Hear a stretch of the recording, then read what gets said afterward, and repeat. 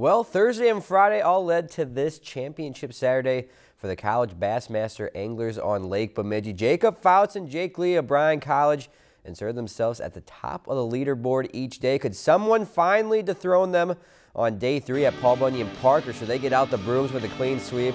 Well, they picked up right where they left off 15 pounds and 6 ounces of five bass netted for the final weigh, and that kept them in front of Floyd and McNeil of Bethel College, just over 3 pounds. A three-day grand total for the winners, 49 pounds and 15 ounces, and they're crowned as the new college national champions.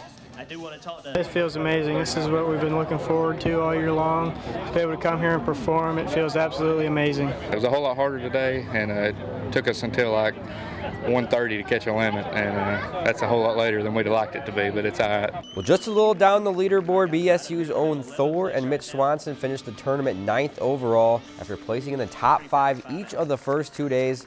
The dynamic duo pulled in 29 pounds and 9 ounces total, 5 pounds and 14 ounces on Saturday to complete the run in their home city. This caliber of, of anglers, these kids are really good, so anytime you can get inside the top 10 at a national championship, you really you really can't complain at all. Um, obviously, we're hoping it's going to go a little bit better, but it's still a good week. And be able to drive 500 feet from our house to the ramp and then coming here, fishing familiar water, fishing familiar techniques, and then seeing everybody else here. I was not expecting this many people to show up to a, a tournament, especially a bass tournament in uh, northern Minnesota.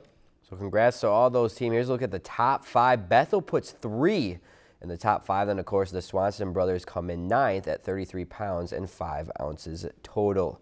If you've enjoyed this segment of Lakeland News, please consider making a tax-deductible contribution to Lakeland Public Television.